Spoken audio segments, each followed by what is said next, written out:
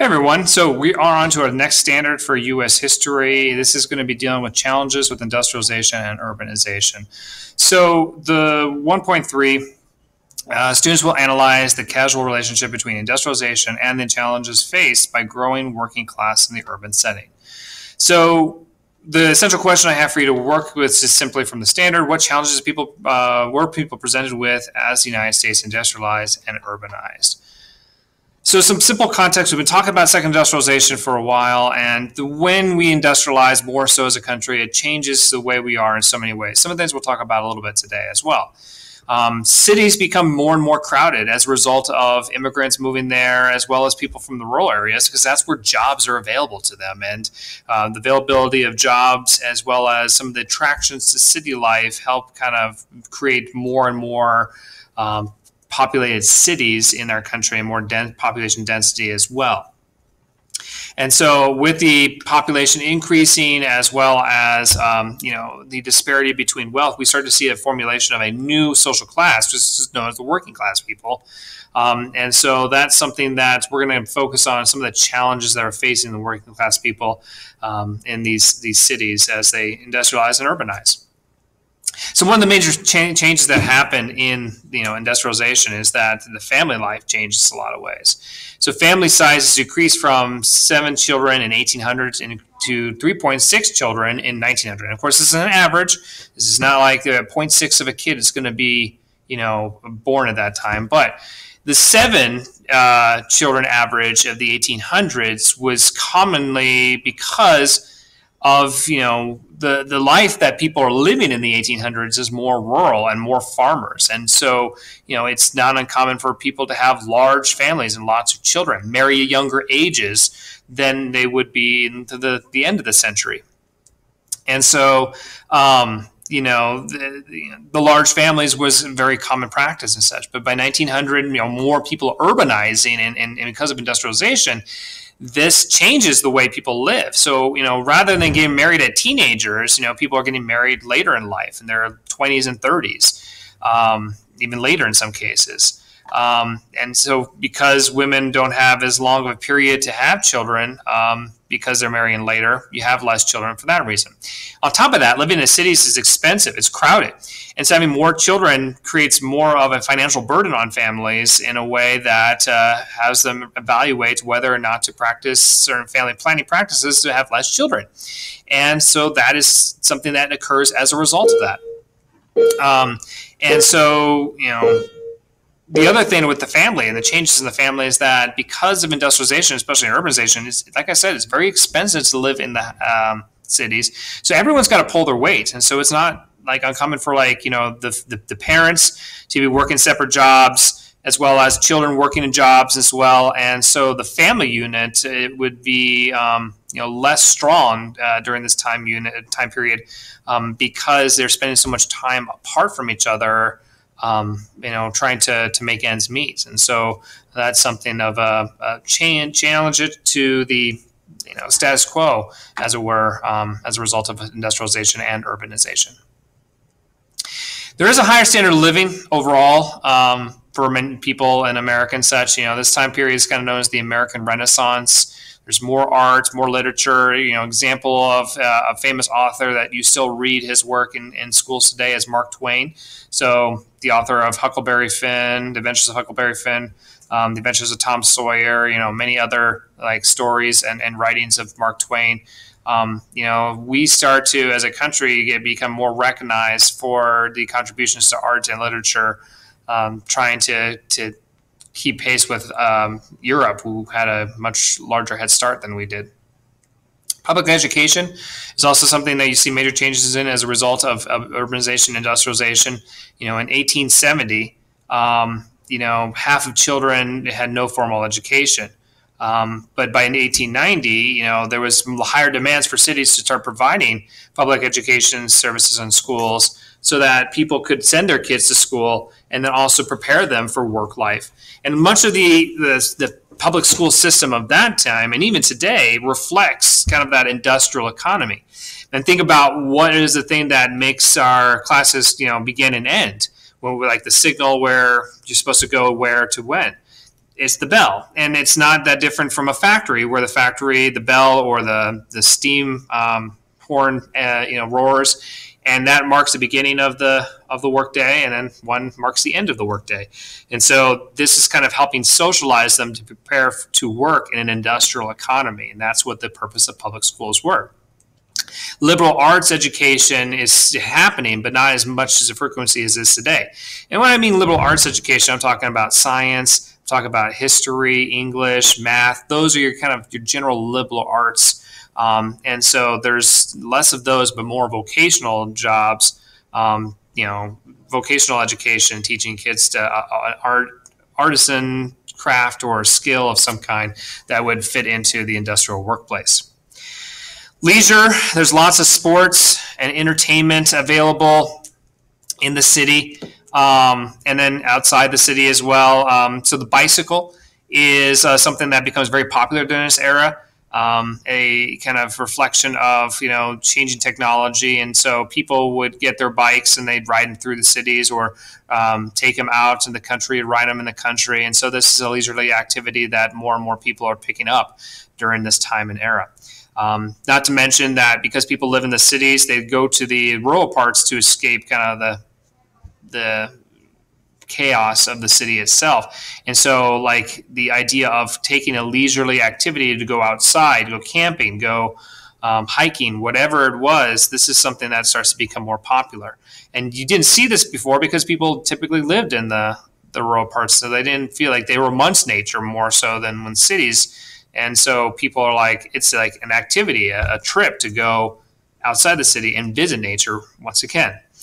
Sports becomes more popular during this time. Baseball, of course, is is the the big one, and and um, not the biggest, but one of the big ones. Uh, boxing, in fact, was the most popular sport of this era. Um, and people would sit by their radios later in the 1920s and such, and they would listen to the um, the boxing matches as they were. So um, those are big sports and such. Baseball itself becoming more and more popular. There were two major professional leagues in the country uh, in the late 1800s: uh, the National League and the American League. Eventually, they kind of formed to become what becomes Major League Baseball. Um, this one, this um, team right up here, this is the Chicago White Sox. Uh, I can't remember which year it is, but they're more famous, be known as the Black Sox because uh, they were uh, paid by gamblers to throw the World Series and uh, um, lose on purpose so that gamblers could make lots of money and such. Um, it was found out um, they, many of them were thrown out of baseball forever. Uh, as a result of that, including one who uh, I think is a Hall of Famer. If he's not, he should be. It's a guy named Shoeless Joe Jackson. Um, and so, yeah, I'm rambling about baseball. I probably shouldn't. Football becomes a, a very popular sport in the college ranks. It hasn't quite made a professional um, uh, league yet, but in the college ranks, ranks, it becomes very popular. So teams like Army, Navy, Notre Dame, Michigan, Yale, they were the powerhouses of that era um, of, of college football. This is like before helmets too, so um, it was definitely a tough sport to play. Entertainment, you have the vaudeville shows. These are the um, these very cheap theaters. We would pay a dime to get in, and then you would be able to like have an evening of like ten little skits. That you have a comedian come out. You have someone doing juggling. You have someone doing a, a play from um, uh, Hamlet or you know some some sort of scene from Shakespeare, and just kind of a wide variety show that was available. Um, these shows, you know, definitely like uh, promoted a lot of stereotypes about immigrants and African Americans. Um, they, you know, became famous. They also did the whole blackface thing, um, where that started off was when these shows. Um, but you know, during that time, that was kind of where the entertainment lied, right? And of course, the greatest show on earth, the circus. Uh, P.T. Barnum and James Bailey's, uh, you know, greatest show on earth circus, the Three Ring Circus um, where they had exotic animals. You had um, lots of, um, you know, performances like the high flying trapeze and such. It truly was like the greatest show on earth. And the fact that they would load up their show onto the trains and travel different parts of the country, set up these giant tents, and then perform for people all across the country. Um, it, it, was it was certainly a sight to see. Now it's like eh, a big deal, but back then it was truly the greatest show on earth. So the tenement housing. Okay, so kind of switching gears a little bit, and we're talking about some more of the challenging things that came with of urbanization and city lives. So, because you have this flood of immigrants that are flying into the cities as well, sailing into the cities really, um, at a pace that was unsustainable for many of the cities to continue to be able to provide housing and other essential services for the the new uh, arrivals you know, we end up seeing the um, building of these poorly constructed, uh, poorly ventilated, and and you know, housing that cut corners on materials and and safety uh, regulation, safety um, stuff. And so they put these houses up very quickly, and uh, they, they just get filled so so quick and so densely that it creates ultimately lots of problems in these slums where these tenement houses were being built. And so, you know, overcrowding led to a lot of unsanitary issues. You know, the, the, the ventilation that did exist oftentimes was stuffed with either garbage or, or people looking for extra storage space. Um, and so you have very stagnant air that's kind of making up in this. Um, it spreads infectious diseases like cholera, yellow fever, tuberculosis like nobody's business, you know. And so, to give you a kind of a stat that shows you how unsafe these conditions were, about 25%, one in four of the babies born in this, uh, you know, part of the city in the late 1800s died before reaching the age one. Um, and so that you know gives you an understanding of how terrible the conditions were, uh, the tenement houses as people lived in. The cities themselves were also extremely dirty, and it's not just the tenement houses and such. The cities as a whole, and especially in these slum areas, were really bad. And it's because, like again, when they're putting up these these houses and they're doing so quickly, they're not putting proper uh, plumbing in. They're not connected to the sewers because the sewers can't reach out to them fast enough. Um, and so people would take put their trash into the street. Um, they would dump it into the riverways. Um, you know, this these were common practices because they really had no other option as far as getting rid of some of this waste. Um, you know, the there were private cesspools that uh, were created between houses and such, where people. So, like, if you don't know what a cesspool is, you can thank your lucky stars that you don't, because you live in an era where plumbing is much more widely available. Um, but people, if they need to make their business, they would go into these pots and then they would take them and dump them out into the cesspool, um, you know, or into the streets themselves. And so you'd have like you know fecal matter and other you know things that are making up these cesspools. Those cesspools, anytime it would rain, um, would flood over and then just kind of pour into the streets, into people's houses, and so forth. I mean, just the most disgusting things you can think of. Um, you know how these dirty these cities were. Um, you can see in this picture here, this dead horse and such. Yes, you know, an animal dies in the street. There's no way of removing it, so it becomes part of the like the trash pile um, that that makes up that uh, area and such. Horses, you know, because they were more commonly used than than cars this time, because cars were not been uh, you know modernized to to make for the common man in these early cities people still uh, you know rode their horses. So horses, you know, if you've ever been to a parade, you will see the horses. They make their business on the street. It sits there unless someone comes and cleans it up.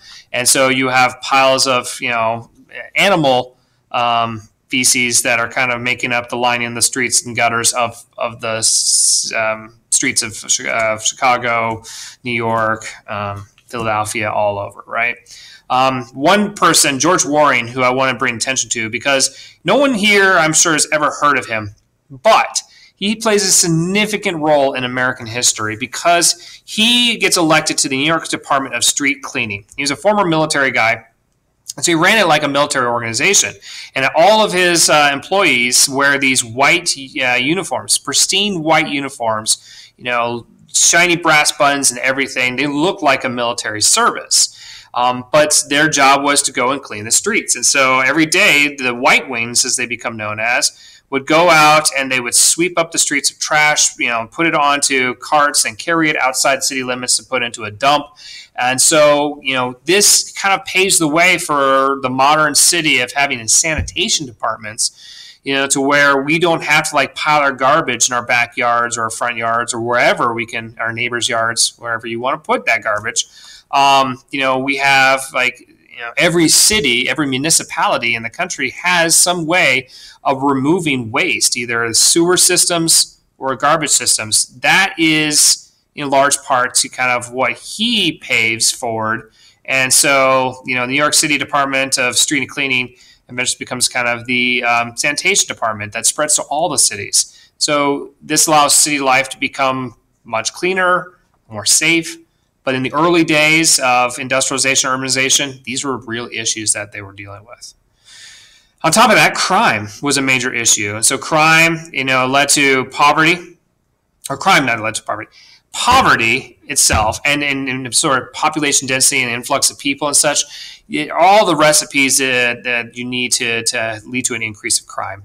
Um, gangs would form in neighborhoods, especially ethnic neighborhoods, because they felt like they had to protect their neighborhood from outside forces. So, like, you had Italian gangs and Irish gangs fighting in the streets for, you know, issues over a corner that they they kind of overlapped a little bit, you know. And so these are things that did happen.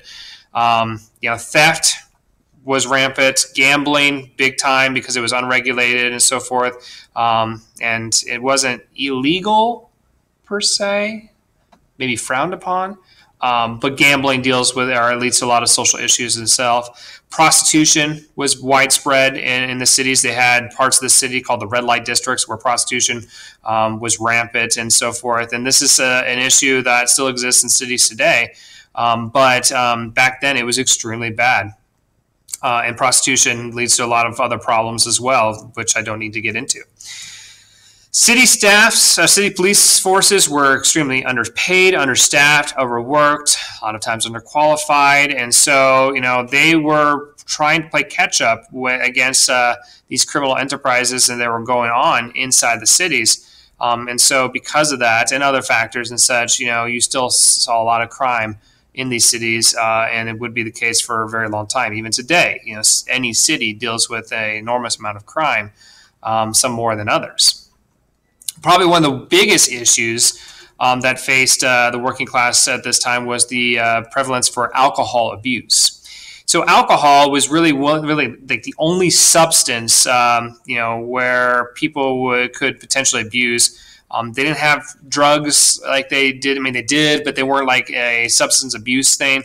Alcohol was something that people used for escapism uh, in the very difficult lives that they were living. So, you know, imagine yourself being a factory worker working a 14, 15, 16 hour shift. Um, your body hurts, you know, you are exhausted. Um, you, you know, all you have to do is go home, get up, and go do it all over again. So people oftentimes are looking for something to kind of escape that that numbness of of the the industrial life, and so many turn to alcohol as a way to do it. Where alcohol was has been used for lots of times, it, the abuse of alcohol happens way more so because people are drinking more to try to numb themselves and escape more. Um, similar to how people abuse drugs today. And I would say the alcohol abuse that was going on back then was a national problem, similar to what we see with the opioid crisis in America today. Um, and it leads to a lot of problems.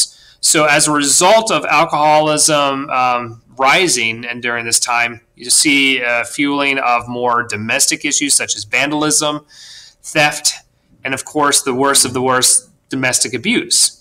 And you know, when husbands would go and work all day, and then they get off, they take their paycheck right to the liquor store or right to a bar or saloon, and they would drink half of it away. Come home, the wife rightfully angry, upset that the money they need to pay for the rent and feed their children and so forth, calls him out on that. And because he's drunk and because alcohol kind of you know, makes people stupid, let's just say in a scientific term, um, they, you know, would then beat their wives. And so um, domestic abuse was a major issue that kind of links in with the alcohol abuse issue.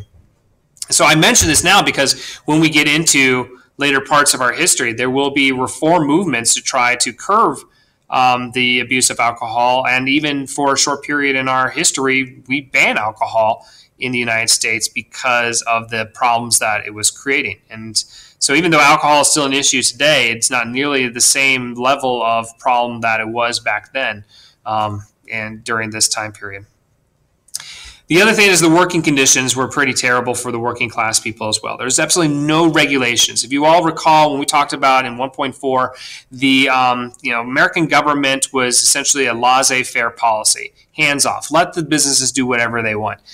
So then what that leads to is a problem with the um, lack of regulation and safety uh, protocols that are put in place. There are perpetual amounts of um, uh, worker accidents that happen as a result of that.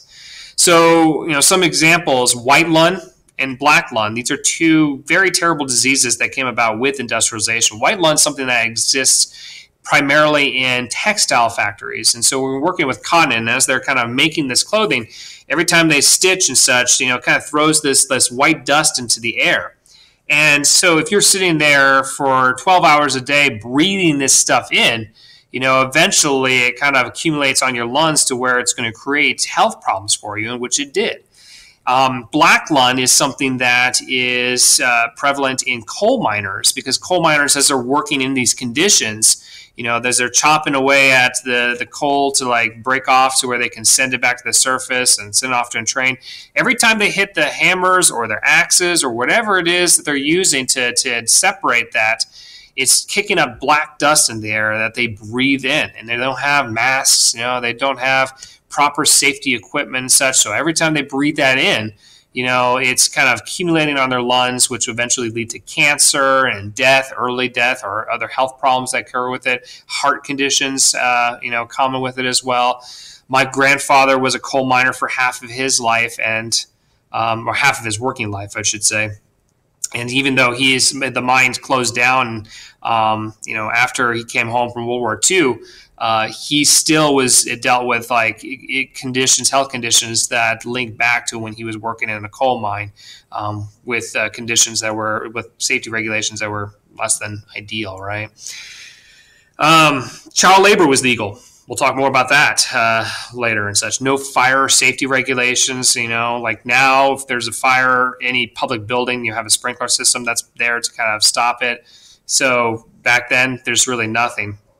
Um, and that's something we'll talk more about, um, or you'll see more about when uh, you do the triangle shirtwaist fire um, assignment uh, that's attached to this. And then the injuries um, results t- typically in term- termination, no compensation whatsoever. Today, if you get injured on the job, you know you get workers' compensation. It's it's to help pay for your medical costs from that injury that you incurred on the job. Um, so there are there's things like that. At the same time, um, you know, like if you're working in a sewing factory and you you know after a 12 hour shift and it's the end of it and you're not paying attention, you kind of put your hand through the sewing machine, whatever and such, and that's going to cause some real damage. Um, you know, rather than give you work compensation or you know like medical benefits, whatever, or something like that, or you know paying them during the time that they are recovering, whatever simply you're fired, bring somebody else in because they, the businesses could.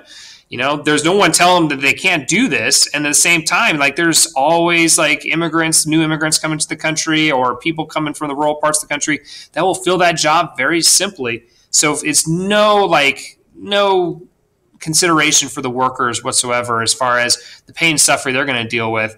Um, and so if you get injured on the job, you're on your own. And that was a real kind of the survival of the fittest at its its worst um, during this time period. So, last time to talk about the essential question: What challenges were people presented with in the United States uh, as the United States industrialized and urbanized? So, make sure you put your responses uh, and submit them through Canvas. There is an assignment that's connected to this um, that uh, I will have time to work on it today and uh, next class period, um, as far as um, you know allocation of time to be able to work on that. So if you don't finish it all today, that's okay. Um, you'll have some time on either Thursday or Friday to to finish it up. So that's it from uh, Mr. Henry's classroom. Uh, I hope everyone is home safe and healthy, and I will see you later.